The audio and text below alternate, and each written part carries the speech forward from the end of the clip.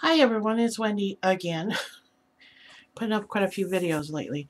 Um, if you remember, I had my fall bundle haul from Country Craft Creations, and I said that the uh, 5 by 7 cards, or 6 by 8 the 6 by 8 cards, um, inspired, were inspiring me to make a mini album. I made it. I had to use a few sheets from the 12 by 12, but that's okay. I have enough to do a small album. Not quite this big. Um, so I used craft cardstock. I wrapped the spine. You see it has that thankful. I used all the chipboard pieces in this album.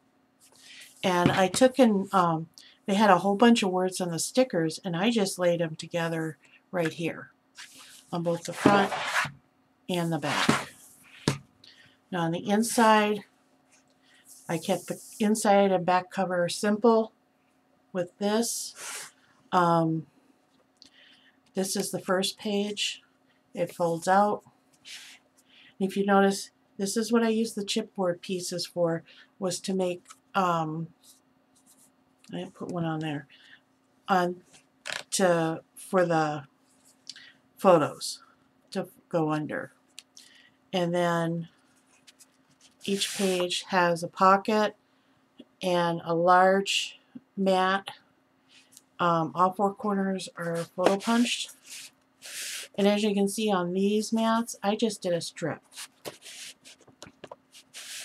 Because I want the show to be the pictures not the paper on the, the back of this page and the last page, I did a staggered waterfall, I guess you'd call it. Um, and there's just three of them there.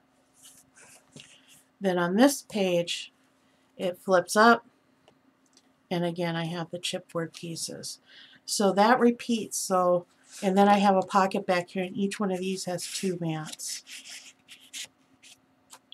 So I did three pages with this style, and then three pages with this style, and I edged them with um, a Martha Stewart punch called Vintage Doily.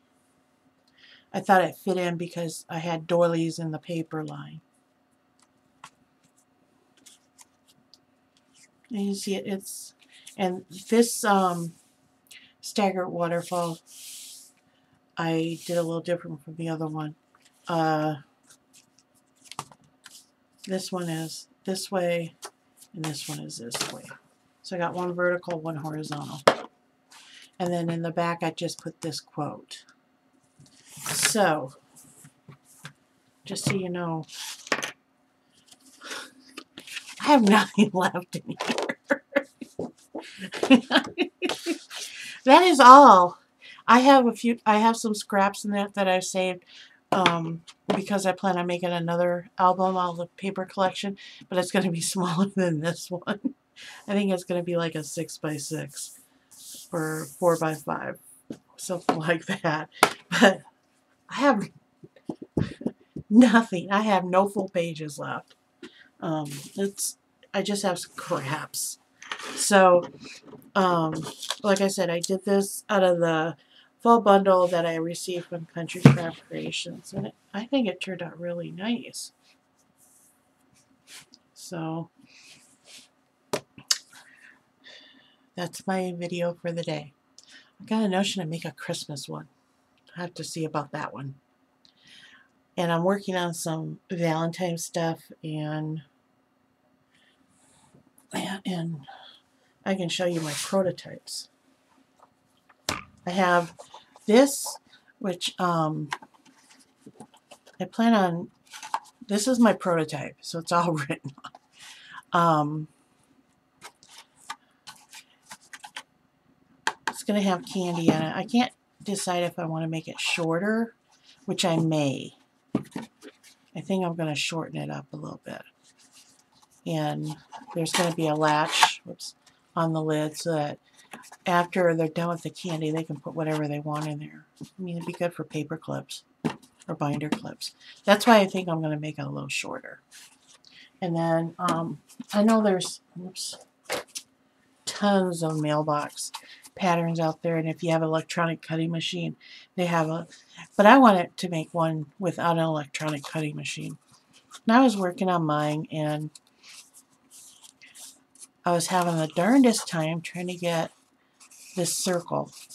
I mean, it just wasn't working. And I happened to watch another uh, tutorial on someone else's page on YouTube, and they suggested doing a sliding box. I thought, aha, that solves my problem.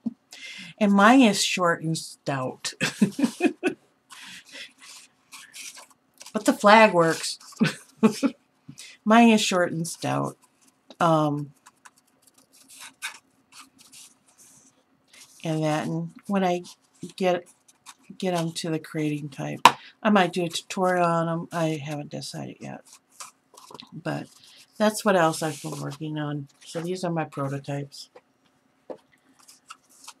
Who knows what else I'll create. So, there's the album I said I would make. I made it. Have a good night.